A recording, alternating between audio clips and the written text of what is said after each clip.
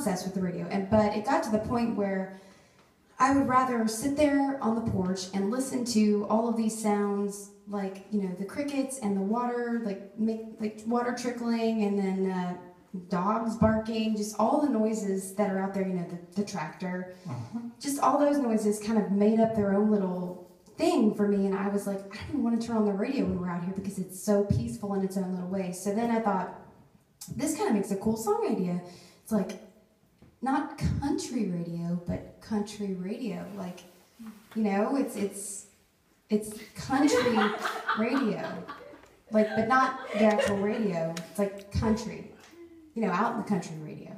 Just laugh, nod, and smile. Yeah. We uh, we have that we have word battles like this all the time. The very first one was because I said he said to me, "Have you ever had red cream soda?"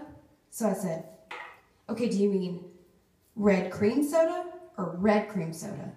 Red cream soda or red cream soda? Red cream soda or red cream?" He was like, "Oh my God, stop saying the same thing!" And I'm like, "No, they're different." 20 minutes this went on. Mm-hmm.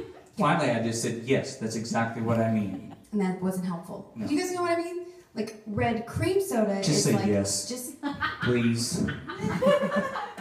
Okay. So red, red cream soda is like regular cream soda, but red cream soda is like red, red cream soda. Never mind. so, but anyways, country radio, like out in the country radio, you know, rather than the actual radio. That makes sense, right? Yes, it does. They're not. Country Alright. sounds. So the